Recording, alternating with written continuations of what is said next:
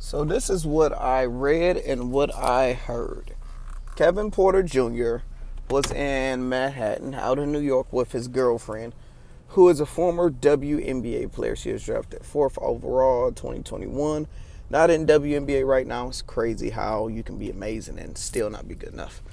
But they went out to a club or went out party, had some fun, and it looks like he came back to the hotel and she locked him out the room because there was an arguing.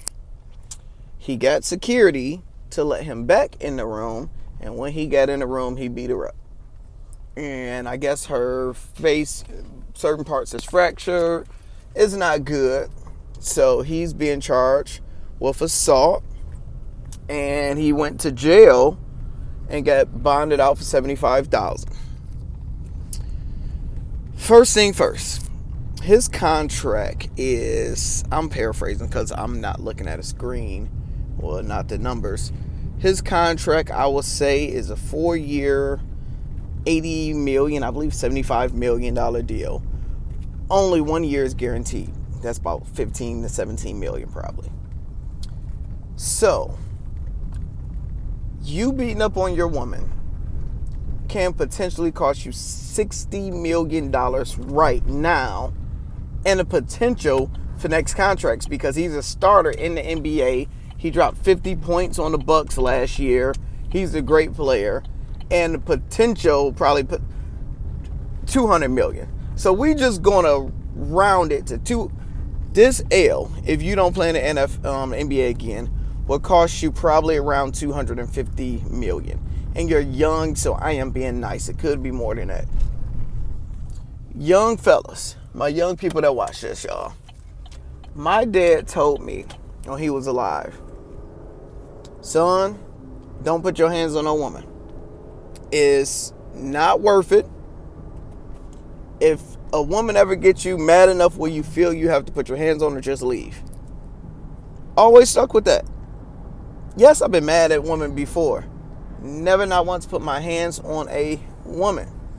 And it's deeper with me because his ex will happen to become the mother of my brother.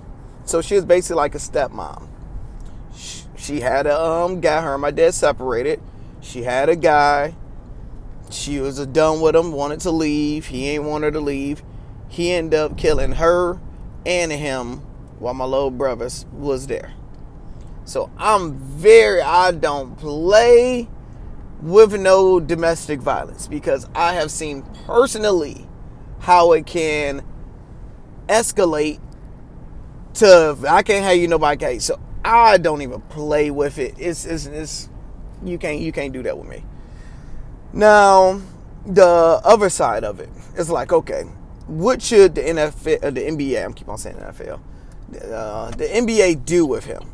We know Miles Bridges. He had a similar situation last year, and we haven't seen him in the NBA since. They're trying to send him to the Pistons. Don't send woman beater to Pistons. I don't care how good you is. We suck anyway. Keep your butt over wherever you at. So I don't even know his situation. So now I'm seeing that the Houston Rockets is trying to trade him. So they're like, we give you draft picks. We nobody want somebody. You didn't even just beat up your wife or just a regular woman you beat up somebody that's in your industry and that's probably respected in your industry. WNBA players probably know and love her because they played with her, known her for most of their lives. NBA players probably know and love her because they've been around them, around her for most of their lives. You picked the wrong one, dog. It wasn't wasn't a good move. So I automatically say he needs to be out of the NBA for at least 12 months. Year, we got to kick you out. The other half of it, where it's like people say he needs to just be out forever. How old is Michael? Um, how old is Kevin Porter Jr.? He's young. You can't hold one bad mistake against somebody for the rest of their life.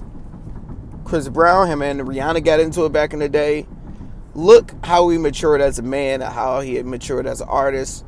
Imagine they said, Up, you didn't hit Rihanna, you can't never make music again um, Miguel Cabrera. He's on our team right now. He's having a farewell tour around the whole league. Everybody loving him, respect him. I believe he had about two. I'm. I don't know for a fact.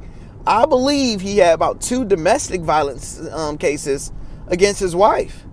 So if he didn't beat up his wife twice, and we still celebrating him right now because I'm hoping he's not the man that he was when he was doing that stuff a decade ago. You see Ray Rice, he did it, and he's out. So what sucks is because now let's say him and old girl was married, the W X WNBA player. I'm assuming she's she's not working, so she's not making no money, no real money. She's not making over two hundred thousand dollars a year. I can guarantee you that. Probably, I say she's a model. Also, she could be, but let's just say for conversational purposes, she's not making no money. She's depending on the guy that just got the four year $80 million contract. So let's say you stay with him. You decide to stay with him. Now his career is over with. He can't provide for you. His career is over with. He can't provide for himself. You broke, he broke. Both y'all took this L's. So it's not like that she shouldn't have said something. It's just a tough situation all around. Fellas, do keep your hands off them ladies. Celebrities, y'all just dumb it in a box of damn rocks. I, I just don't understand why you putting your hands on women and you are a celebrity that's rich. I don't get it. But I wasn't raised the way you guys was raised. Hope they figure it out. What's your thoughts in the comments?